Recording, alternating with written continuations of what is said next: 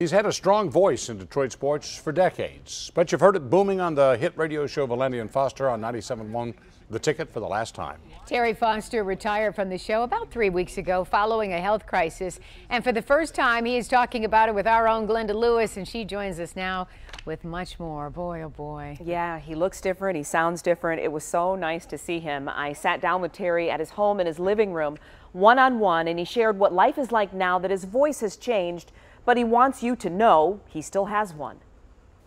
The Citrus Bowl. So what? No, it's fair. It was instantly obvious to listeners that the passionate yang to Valenti's ying on their hit sports talk show on 97.1 The Ticket was not the same. I was in the hospital and it just overcame me. I had an epiphany.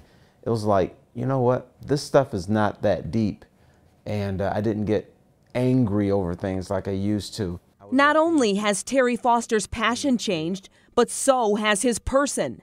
You're also a lighter guy than you lighter were. guy. I've lost 43 pounds. I lost the weight because I don't want to get sick again. We spoke in his living room, and the now quieter, more introspective, more subdued Terry told me that he knew he was getting tired of the intensity of his live four hour sports commentating. It was beginning to take its toll on his family, but it took him a while to realize what was really happening to him last August. I type in the basement. I do my blogs and things in the basement. And then my right hand was like, kept making typos and stuff. I said, what's going on here? And I couldn't type.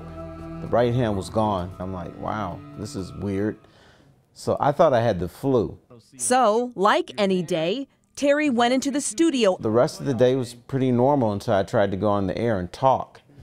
And then I uh, talked like I'd been drinking. And I was slurring and talking like this, and I'm like, man, there's something wrong. So you slept on it? Yeah. Went to the doctor, and she said, you had a stroke. And um, she said, I'm going to call you an ambulance right now. Terry would suffer a second stroke about seven weeks later then to rehab, then a return to the microphone, a changed man. When I first started doing the show, I felt like a stranger, like a new, like a new guy uh, that was just starting this job.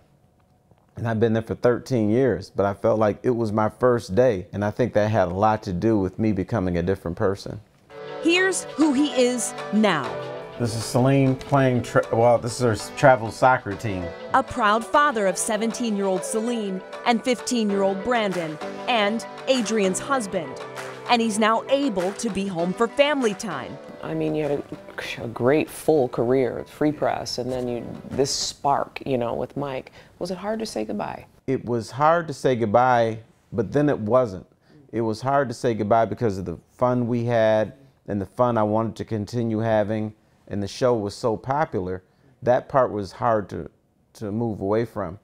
But the way that I was feeling after every show, it was a little bit easier because I didn't want to feel this way anymore. Are you friends, you and Mike? Yes, we're going to have uh, dinner this week. We'll continue to have dinner. And at 58 years old, part of Foster's reflection is on how he plans to write his next chapter.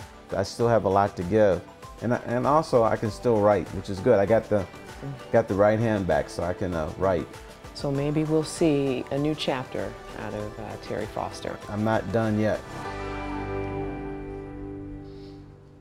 You know, here's a guy with 137,000 Twitter followers, Stephen Carolyn, and um, he says he's got that platform. He still wants to use it. He's still open to write and hearing back and forth from people. But when I asked him what he wanted to give to people out of this, what he wanted people to take away from this interview.